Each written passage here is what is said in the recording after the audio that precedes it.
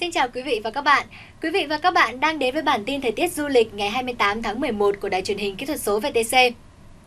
Kính thưa quý vị, thời tiết những ngày tới ở Hà Giang khá thích hợp cho du khách tham quan nghỉ dưỡng. Trời hầu như không mưa, ngày nắng, sáng sớm có sương mù. Từ ngày mùng 1 tháng 12 thì mưa nhỏ có khả năng xảy ra vào lúc sáng sớm nhưng với lượng không đáng kể. Chỉ lưu ý là tiết trời về đêm và sáng chuyển rét nên quý vị nhớ chuẩn bị cho mình đầy đủ các trang phục giữ ấm trước khi đến với Hà Giang. Thưa quý vị, ghé thăm Hà Giang ngoài cảnh ruộng bậc thang tầng tầng lớp lớp nên thơ xinh đẹp, vùng đất này còn đem đến cho du khách nhiều thắng cảnh thiên nhiên, không kém phần hấp dẫn, kỳ bí. Một trong số đó là hang Khố Mì thuộc bản Khố Mì, xã Tùng Vài, huyện Quản Bạ. Đường vào tham quan hang cũng khá dễ dàng, du khách sẽ không khỏi trầm trồ trước vẻ đẹp ấn tượng của những cột nhũ sừng sững, khoe dáng với vẻ bề thế. Các dòng thạch nhũ thấm qua tạo nên những bức phù điêu với đủ hình dáng, màu sắc, càng làm tăng thêm nét huyền bí, lung linh, kỳ ảo cho hang động. Bao quanh hang Khố Mỉ là cả một hệ thái sinh thái rừng vô cùng phong phú. Hơn nữa, bên những sườn núi thì còn có bản làng của người Mông sinh sống. Với những nét văn hóa độc đáo, danh thắng vùng biên giới này hứa hẹn sẽ là một điểm du lịch thú vị với những du khách yêu thích khám phá. Ngoài Hà Giang thì nếu yêu thích, quý vị cũng có thể lựa chọn các điểm đến khác ở Bắc Bộ để đi du lịch vì thời tiết trên toàn miền Bắc khá tạnh giáo.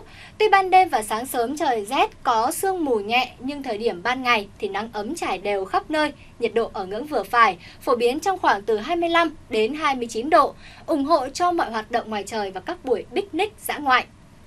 Từ ngày mùng 1 tháng 12, thời tiết ấm áp hơn, đêm và sáng sớm nhiệt độ tăng lên khoảng từ 1 đến 3 độ nên trời chỉ còn rét ở khu vực miền núi.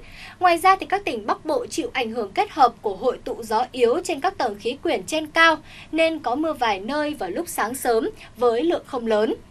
Nhìn chung, thời tiết trong ngày vẫn khá thuận lợi cho du lịch và mọi hoạt động dân sinh.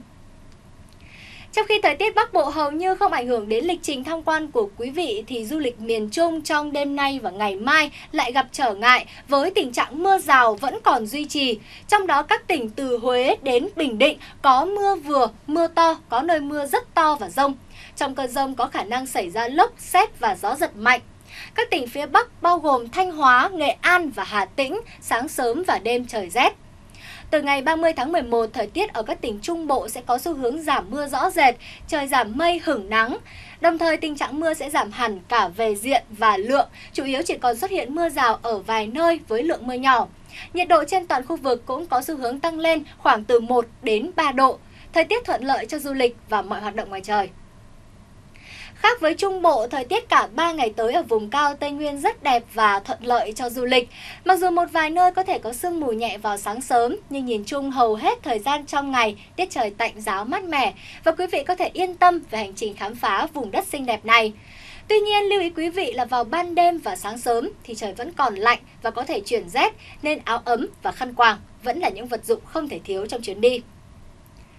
Ghé thăm khu vực Nam Bộ trong những ngày sắp tới, hầu hết không một nơi nào có mưa. Ngày trời nắng, nhiệt độ ban ngày tăng nhanh, có khả năng đạt tới ngưỡng nắng nóng là 35 độ. Tuy nhiên, chiều tối và đêm có khả năng có mưa rào nhẹ và rông vài nơi, lượng mưa không lớn.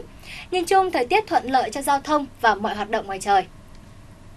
Hy vọng là với những thông tin vừa rồi sẽ giúp quý vị chuẩn bị chu đáo cho hành trình du lịch sắp tới. Và sau đây sẽ là chi tiết nhiệt độ các điểm du lịch lớn trên cả nước. Xin chào và hẹn gặp lại! Thank you.